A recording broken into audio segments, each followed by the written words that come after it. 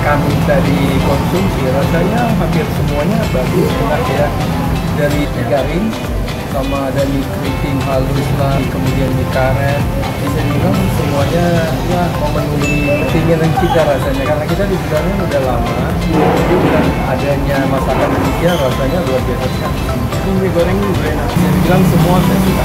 Punya ide dan menciptakan supaya mendidik moralitas dan etika ini saya pikir sampai saat ini baru saya ketemukan di sini jadi ini merupakan suatu ide dan pemikiran yang luar biasa sekali. Kita bisa tahu bahwa selama ini mungkin anak-anak yang tumbuh itu kan pendidikan untuk moralitas itu kan sangat sedikit sekali. Jadi dengan adanya pengajaran yang demikian sih saya bagus sekali untuk anak bangsa kita ke depan. Pesan untuk masyarakat juga supaya bisa ikut serta mengkonsumsi makanan yang tanpa hewan itu paling baik untuk kesehatan.